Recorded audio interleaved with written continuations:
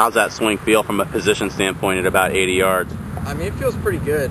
Um, That looks pretty good right there.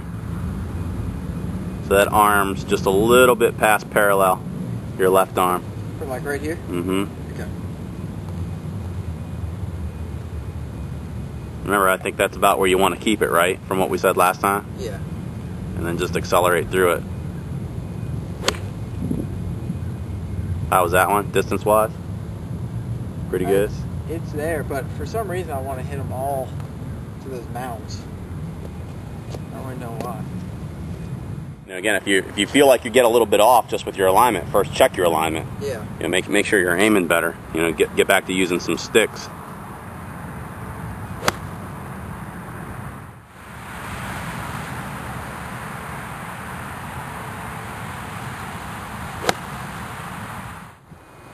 You just have to adjust a little bit because I mean, if you start to throw it too far open to try to keep the club face more square because it was getting more shut, Yeah.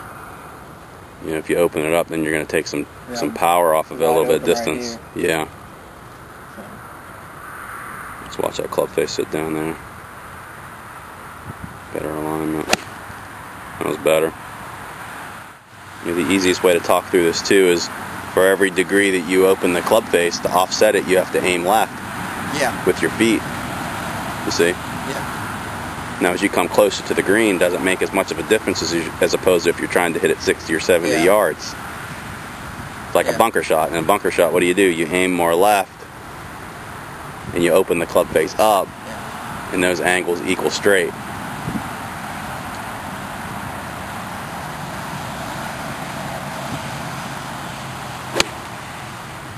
I'm trying to square it up. Take it back halfway and stop. Okay, it's toe up. Toe up is going to keep it as square as, you know, as you want it as square as you can. I mean, I don't mind it being a little closed or a little open. A little bit. If it's a little bit, that's okay. okay so just about, oh, maybe five yards right. Yeah.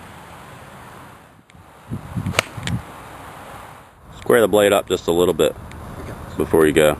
Just, you're going to feel like, again, just toe it in slightly.